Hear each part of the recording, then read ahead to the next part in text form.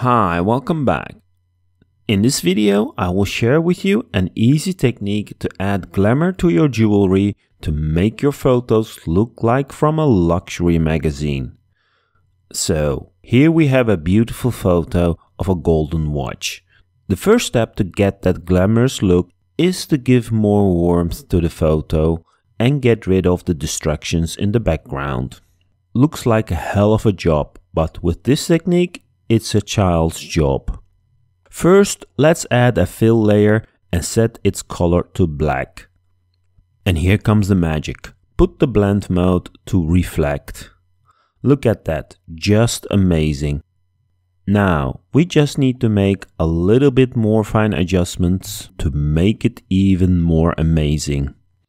Gold always looks more glamorous when there's a red tint in it. So I'm going to change the fill layers color from pure black to black with a red orange tint.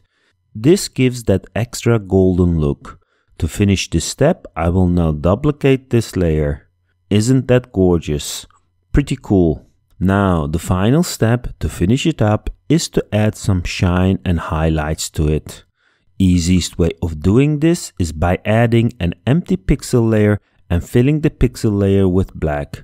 Once the pixel layer is black, let's set its blend mode to color dodge.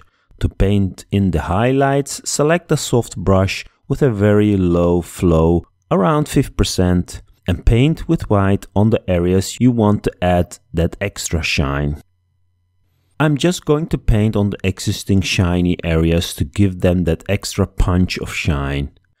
It will be a very subtle difference, but depending on your image or what you want to achieve, you can paint in more shine. If you made a mistake or painted too much, you can just fix it by painting it back with black. And there we are. Let's have a look at the before and the after. That was pretty easy, right? Let's have a look at another image. Before I apply the two steps I mentioned earlier, I want to fix the color cast in the image. Currently it's a little bit dull. Easy way of removing the color cast is by adding a fill layer and then selecting from an area that you think it should be white. Now, if I set the blend mode to the fill layer to difference, we get a much more natural looking photo. Perfect. Now let's apply the first step, which is adding a dark reflect layer. Awesome. I think this is pretty good looking already and probably I would keep it like this.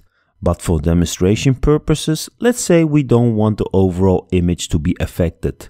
Well, in that case, we need to mask it by adding a mask layer and inverting the mask. Now we can paint in with white on the mask to reveal the effect only on the necklace.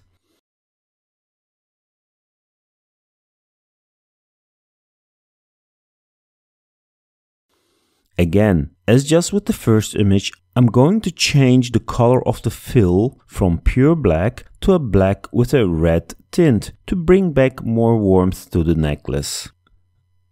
If you think the effect is too much compared to the rest of the image, we can apply a blend range to blend it in better. Excellent. Now step 2, adding the shine and the glow. Just as before, I will add a black pixel layer with the blend mode set to color dodge, paint with a low flow brush on the areas that you feel needs the shine.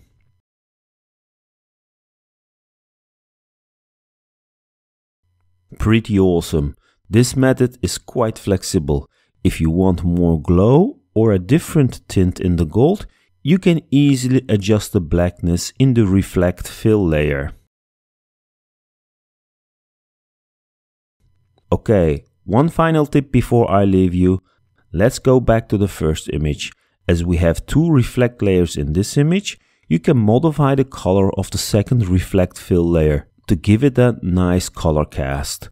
For example, in this image, a green color cast fits very well, especially as there was some green in the background. I hope you like this technique and thanks again for watching.